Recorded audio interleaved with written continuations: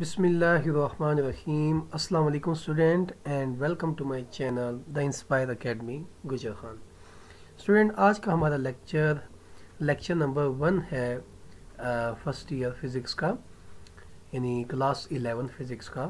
और last uh, time हमने अपने इंट्रोडक्टरी लेक्चर में चैप्टर नंबर वन के लर्निंग ऑब्जेक्टिव्स को डिस्कस किया था जो कि हमारा यूनिट नंबर वन है मेजरमेंट्स आज हम इंशाल्लाह बाकायदा स्टार्ट लेंगे इस चैप्टर का और इसको आगे कंटिन्यू करेंगे।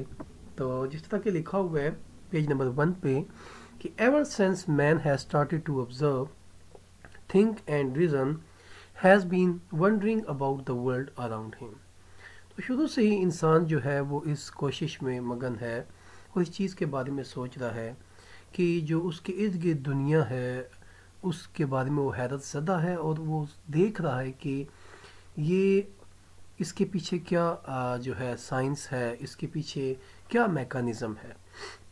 He try to find ways to organize the disorder prevailing in the observe fact about the natural phenomena and material things in orderly manner तो जब वो इन चीज़ों को देखता है तो उसको डिसऑर्डर मिलता है इसमें। फिर वो कोशिश करता है कि इसको वो ऑर्गेनाइज कर सके। और वो ऑब्ज़र्व करता है मुख्तलिफ़ नेचुरल फिनमिनास को और मुख्तलिफ़ चीज़ों को इन ऑर्डर टू मैनरली ताकि उनको वो इन एन ऑर्डरली मैनर ताकि वो उनको अरेंज कर सके एक मैनर में प्रॉपर वे से।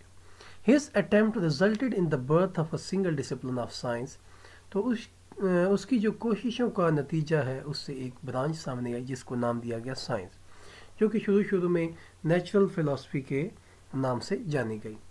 So there was a huge increase in the volume of scientific knowledge up till the beginning of 19th century, and it was found necessary to classify the study of nature into two branches. तो अगर हम बात करते हैं उन्नीसवीं सदी की जो इब्तदा है, उसमें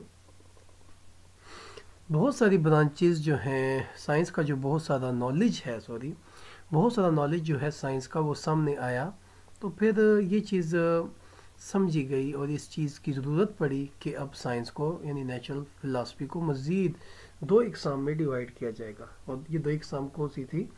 बायोलॉजिकल साइंसेस एंड दूसरी थी फ़िज़िकल साइंसेस तो बायोलॉजिकल साइंसेस में हम क्या पढ़ते हैं? Biological sciences which deals with the living things and physical sciences which concern with the non living things तो उन्नीसवीं सदी की प्रधा में दो मेन ब्रांचेज सामने आई। एक तो बायोलॉजिकल साइंसेस थी जिसमें हम ज़िंदा चीज़ों के बारे में जितनी भी ज़िंदा चीज़ें उसको उसमें स्टडी किया जा रहा था।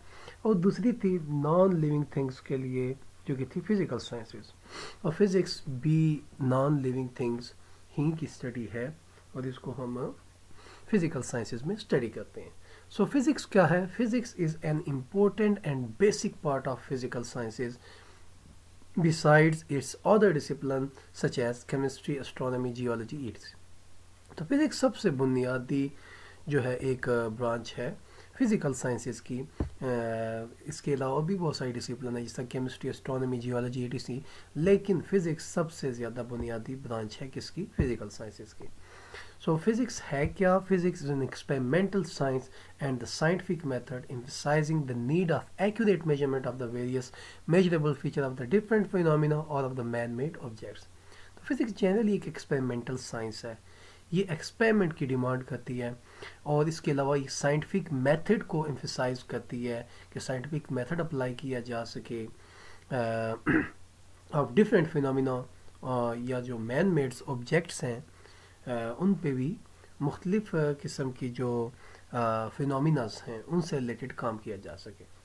So this chapter emphasize the need of thorough understanding and practice of the measuring technique and recording skill इस चैप्टर में हम पढ़ेंगे practice of the measuring techniques की मुख्तलिफ़ किस्म की जो मेजरिंग टेक्निक्स हमारे पास हैं, उसको हम स्टडी करेंगे।